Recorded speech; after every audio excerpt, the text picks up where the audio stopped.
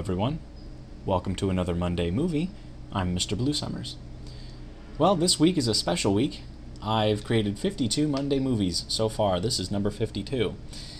And that's pretty awesome. That means we've done an entire year of weekly bite sized videos uh, in order to teach you key techniques in 3D Studio Max. This week is no exception.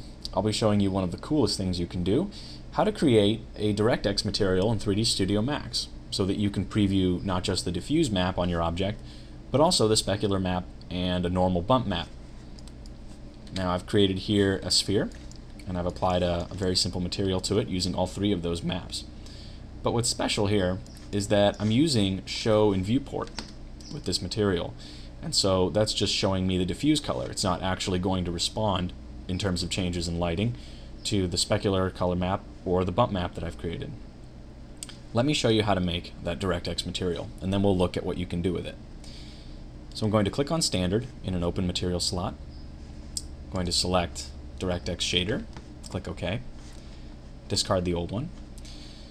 And what that's going to bring me to is the default shader.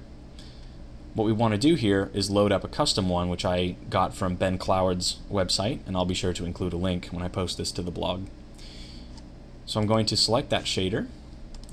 I'm going to go to DirectX. Very good. Open. And that will change these parameters that I can use for this material. So I'm going to go ahead and assign my different maps.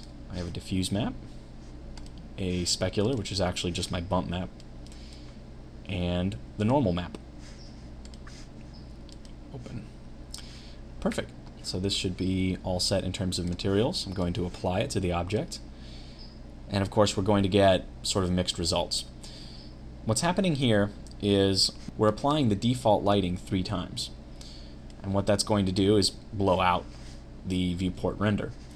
So what we need to do is create three separate lights that will take care of the lighting for us.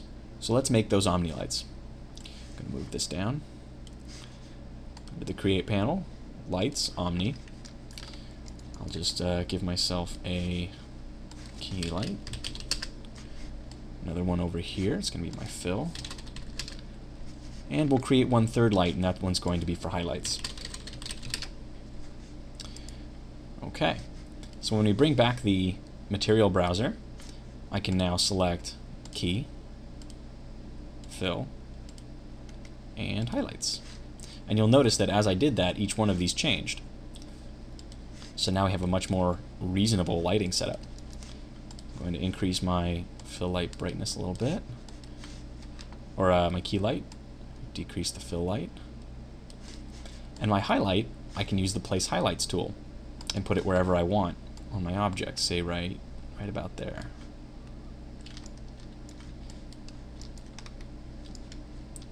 Wonderful.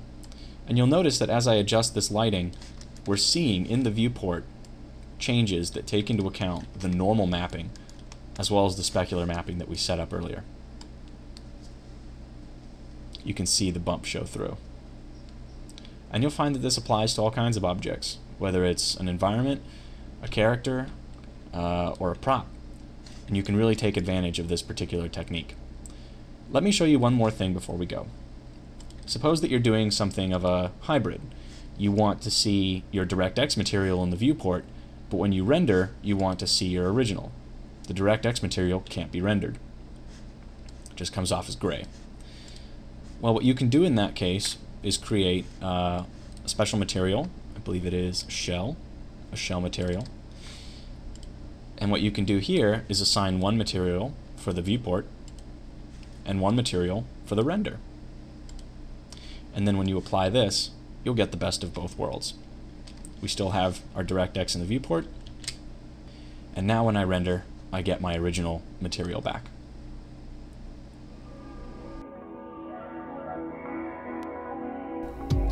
Thanks for tuning in to another Monday movie. You can find all of my Monday movies as well as tutorials, resources, and downloads at my website www.mrbluesummers.com.